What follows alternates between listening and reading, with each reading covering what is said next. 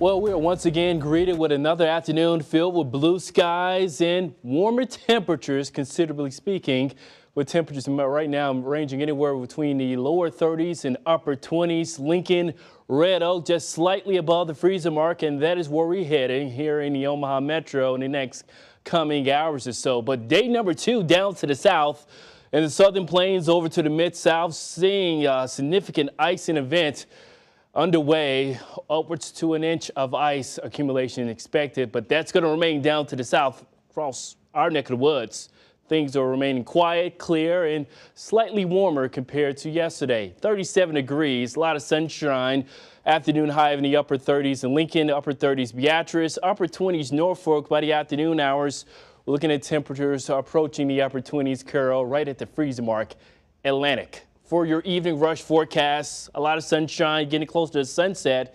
Temperatures slightly above the freezer mark. Clear skies continuing as we approach your dinner time hour. So a few clouds for tonight with a west wind about 5 to 10 miles an hour where we have a little bit more cloud coverage. That's going to help temperatures to remain in the upper 20s. Elsewhere, the mid mid teens, I should say. 15 for morning glow in Atlantic, 19 Omaha, 17 Lincoln.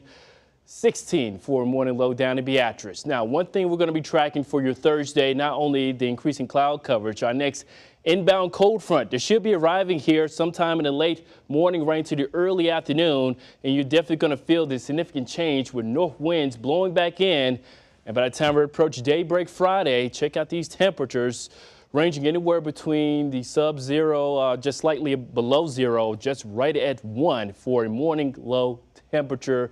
You factor in the north winds, it could feel like anywhere between 5 to 10 below zero. So a slight intermission with cooler temperatures for Thursday and Friday.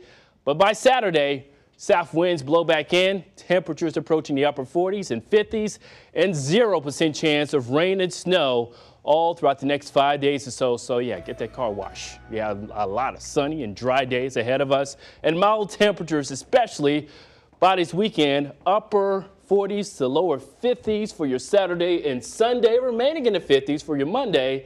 Slightly cooler by this time next week with more seasonable temperatures, but a lot of sunshine. Can't complain about that, Waverly. I always love it.